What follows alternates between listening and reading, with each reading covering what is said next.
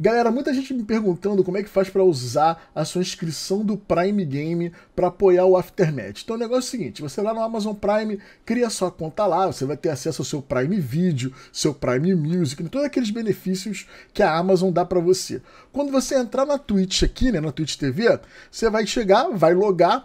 Quando você logar, você vem em configurações, aí em configurações tem conexões.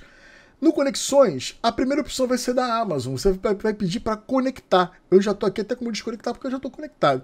Quando você conectar, você vai colocar o seu login, o seu e-mail e ele vai entender que essa conta da Twitch TV é a mesma né, da Amazon Prime. Feito isso, você vem aqui em cima em buscar, coloca Aftermatch BG. Aí vai aparecer o Aftermatch. Você clica no canal do Aftermatch. Aí aqui, ó, o seguir, se você já é seguidor, já vai estar marcado. Se você não é seguidor, você segue.